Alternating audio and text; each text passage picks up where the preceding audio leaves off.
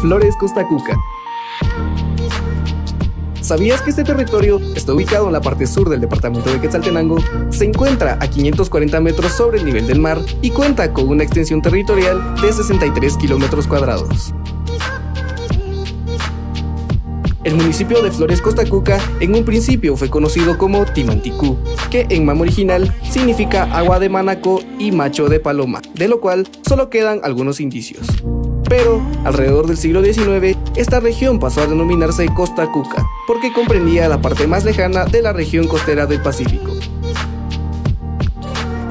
No obstante, el término Cuca surgió por el presidente Justo Rufino Barrios, quien, al visitar la costa de Quetzaltenango, lo nombró por su hija María, a quien de forma cariñosa llamaba Maruca.